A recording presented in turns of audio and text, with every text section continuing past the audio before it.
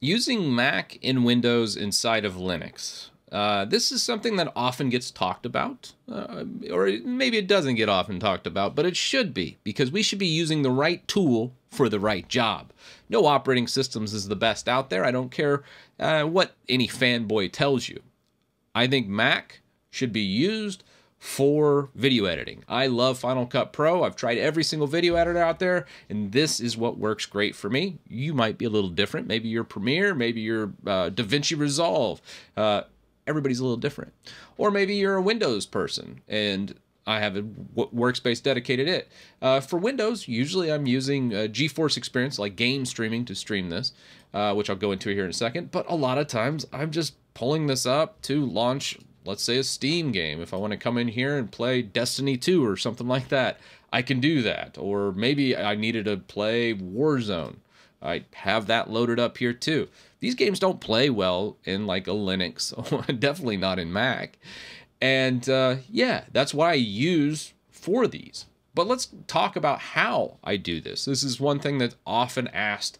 Um, and when it comes to Windows, a lot of times when I want a game, I just use Moonlight Game Streaming and I have a dedicated box with Windows. Now, obviously, this isn't for everybody as it does require a box dedicated for Windows.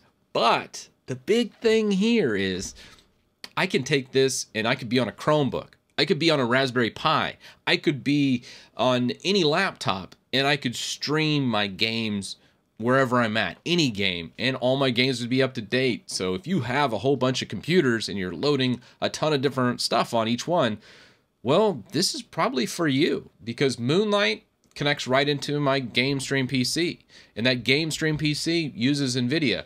If you're an AMD user, though, there's another open source project. Again, Moonlight's free, it's open source. Uh, Sunshine is actually a Moonlight host. So you could do this for the, you AMD users out there to basically install on your Windows PC and then stream it to your Linux box like I'm doing with uh, Moonlight, which I always put in Workspace 2 here. And just to kind of show this, I could actually just hit play and uh, launch into, like, say, Diablo 2. And here is my gameplay right, right there.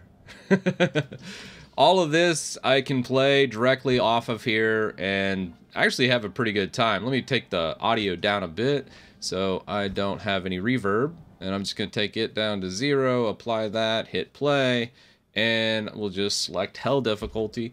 And this is how I play if I'm laying up in bed. I'll be playing on my laptop. If I'm here in the studio and I want to play, I just load it up and I hit play all of these things work so darn well. Or if if you have some other thing, if it was like a MacBook and I had that, I could just play that with Moonlight.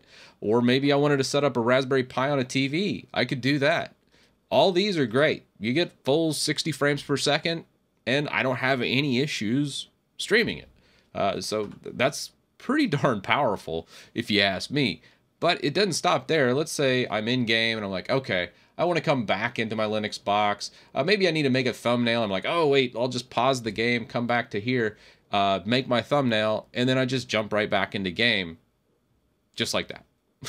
yeah, yeah, it's it's pretty powerful. You don't have nearly the jostling that you have. Like, let's say if I was only using Windows, you'd have this, you know, minimize effect or some uh, flipping back and forth with like Alt Tab. Uh, it's not a great experience. This is considerably superior in speed, productivity. Uh, obviously, when I'm making that, I could easily go into video editing too. But this is how I do my game streaming through these two functions. Now, as far as my Mac goes over here, this is using Parsec. Now, Parsec is a paid product, or they have a free version, which I'm using right now, uh, but I might upgrade if I ever, you know, finished upgrading my monitors. My monitors are, I would say, throwaways. Uh, you know, one of those old 1080p 60 hertz monitors. I need to probably upgrade them and get better like color clarity, and that way when I'm editing or doing uh, color corrections, I can do that. But this is just as good of an experience. I can scrub really well. Uh, if I wanted to like just take this and say, hey, okay, let's do a blade cut with a transition, and it's just, yeah, I, I can do that. That that works just fine. Um, and then I just undid it, and yeah, It's as if I'm literally on a Mac video editing. And how I set this up on this one, uh, if you want to do this, I would say just buy the absolute cheapest one. How I like to do my editing is all through just the base level Mac Mini. A lot of this stuff was just recycled hardware. Uh, and for this, I'll hit about this Mac. You see, it's just an M1 Mac Mini from 2020. 8 gigs of memory, uh, whatever the base disk space, I think it's like 200 gigs or something. I, I, I just don't even bother with that. I don't care. I, I just stream um, all my video edits from my Synology box. I'll see if I can't link up to a different video from uh, when I actually set that up because this is extremely powerful if you're a Final Cut user, don't feel like you need to go buy a whole bunch of MacBook Pros and, you know, have those laying around everywhere. Just use what you got. I got a Chromebook in the other room that's, you know, they're pretty cheap, and I could just edit just like I do here on my Chromebook. Or maybe if I want to do a $40 Raspberry Pi on my big TV, guess what? I can just hook it up and I could be editing stuff on like a 60 inch TV inside if I wanted to using a Raspberry Pi.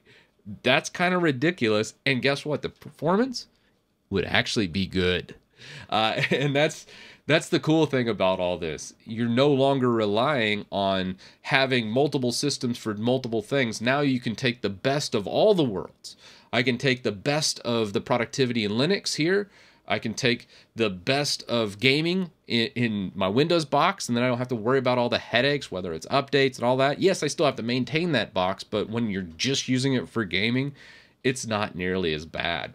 And then for Parsec in Mac, I use this setup. I will say the Mac setup for Parsec is a little bit different because in uh, system preferences, you have to go to like security and privacy. And usually you need to enable, I think, like remote screen and maybe some files and folders. Um, let's see what else we have in here. I think it was screen recording. Yeah, I tried NoMachine a little bit as well. Uh, I didn't find it to be very good compared to Parsec. Parsec was just a far superior product. Uh, at the end of the day, trying both. Parsec gave me almost no issues, and the issues I did get were mainly just permission based in security privacy. But after ironing all that out, uh, and let's say I need to map my audio was the biggest thing with NoMachine I couldn't get working. So I tried Parsec with this and that's really easy to do. So if I was inside on like my Chromebook, let's say, or if I was inside on like one of my Linux laptops, I could just come into sound and then I could just switch this from a USB overhead uh, to Parsec audio capture and it would pipe all that audio inside. So as I'm scrubbing my videos, it would play as if I'm sitting at a Mac. Uh, so instead of spending three thousand dollars on a Mac laptop, I can just use my my older laptops or maybe the the Linux laptops that I actually enjoy better than a MacBook Pro. Uh, so you know that's that's kind of where I'm at with this structure, and it's not that to say hey this is better than the other. It's just to figure out which task assigns better or, or, or is more effective, more productive just yields a better product at the end of the day. Uh, and then using that operating system for it. And then at the end, you can just switch to whatever you want. I wanted to give you options. That's the big thing here is have fun, give you options. Don't feel like you're pigeonholed and go, oh, I have to use Windows because I'm a gamer. I have to use Mac because I'm a creative type and I have to have to have Final Cut Pro uh, these things kind of free you. So then you can use a Linux full time if you wanted, and then utilize these different systems. Now, obviously, if you only have one computer, this isn't for you. But a lot of people out there have multiple computers and they just need to reallocate them. And this is how I did mine to where I, I don't need to buy a bunch of stuff. I know some folks that are just buying like MacBooks just for video editing, and I'm like, oh, that's bonkers to me. Uh, so hopefully this helps you guys. Use the right tool for the right job. Let me know your thoughts down in the comment section, and I'll see you in the next one.